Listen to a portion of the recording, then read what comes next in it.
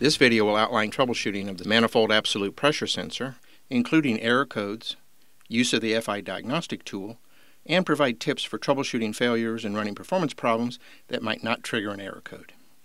The intake air temperature and manifold absolute pressure sensor are combined into one housing.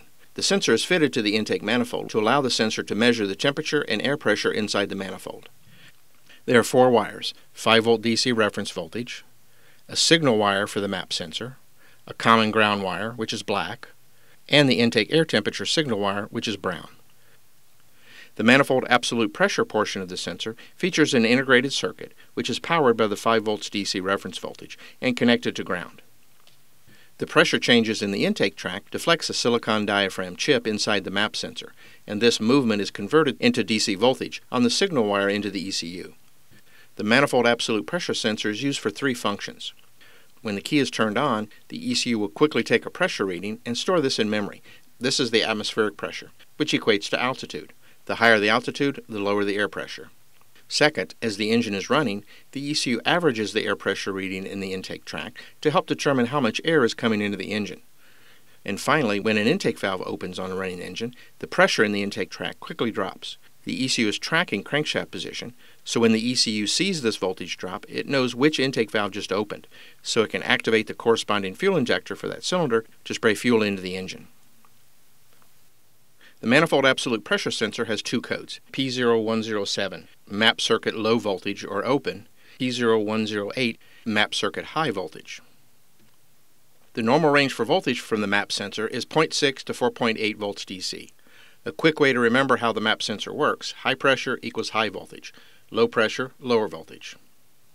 If the voltage falls below 0.5 volts DC, the ECU will trigger error code P0107. Possible causes would be an open power wire or an open signal wire between the map sensor and the ECU, the signal wire shorted to ground, or the signal wire shorted to another wire in the harness that might provide a path to ground, or an open ground wire between the sensor and the parallel junction. If the ground wire were broken somewhere else, it could affect the TPS, the map and intake air temperature, engine temperature, and O2 sensor, so you should have multiple error codes. And the last possible cause would be the sensor itself failed, sending less than 0.5 volts to the ECU. If the signal voltage is over 4.8 volts, then the ECU will set P0108. Could be caused by the signal wire shorted to either a 5 volt or even a 12 volt circuit inside the wire harness, which would send the full 5 or 12 volts into the ECU. Or the 5 volt reference voltage wire could be shorted to a 12 volt wire in the harness. Or a failure in the map sensor sending the full 5 volts into the ECU.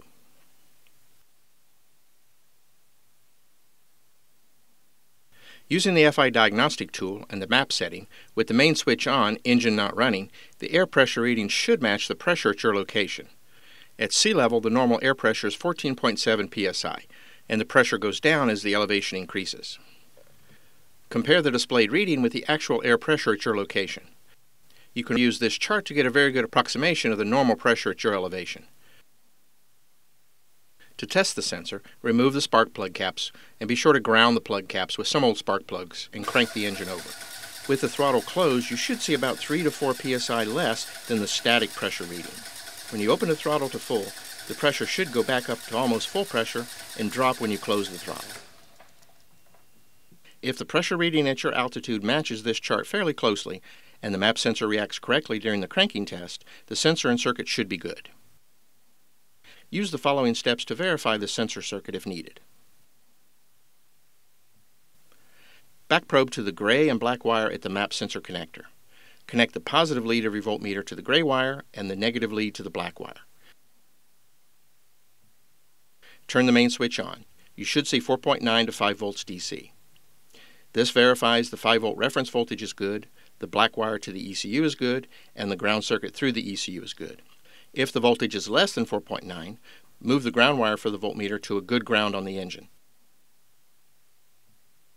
If the voltage is still low, there may be excessive resistance in the gray wire between the ECU and the sensor, or the 5 volt circuit inside the ECU has failed.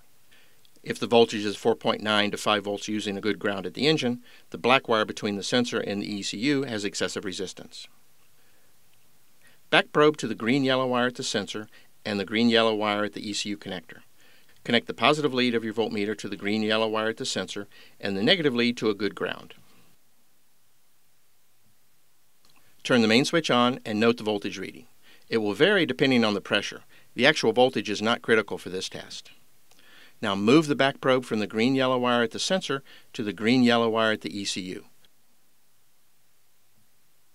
The voltage should be the same. If it's lower, there is unwanted resistance in the green-yellow wire between the sensor and the ECU.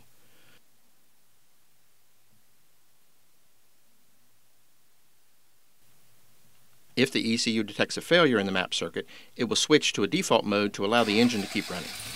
If the ECU detects voltage below 0.5, it will set error code P0107 and set the air pressure to zero during cranking or running. If the ECU detects more than 4.8 volts on the map circuit, it will set P0108 and set the atmospheric pressure to 17.8 psi during cranking or running. 17.8 is very high air pressure, much higher than even sea level. Depending on the difference between the actual air pressure and the default settings, engine performance could be affected when the ECU starts using the default pressure in the fuel injection calculations. Be sure to watch all the other fuel injection system videos and pull them up on your smartphone whenever needed. Thanks for watching.